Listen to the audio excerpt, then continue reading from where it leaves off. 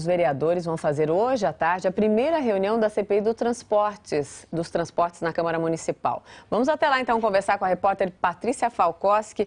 Patrícia, já foi definido ou será discutido hoje, hein? O que será discutido hoje? Bom dia.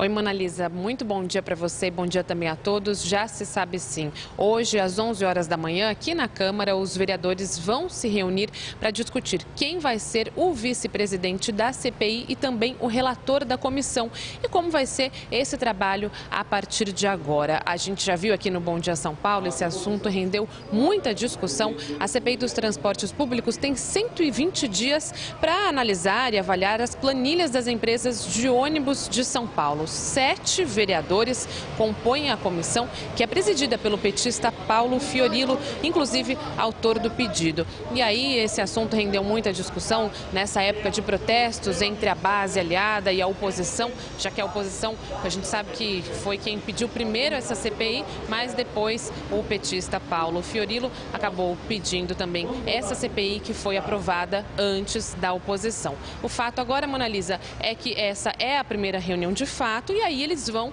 agora discutir como é que vai ser o trabalho para apurar como está a situação dos transportes, né, do transporte dos ônibus aqui em São Paulo, Mona Lisa. Sim, tem muita coisa para analisar e melhorar. Muito obrigada, Patrícia.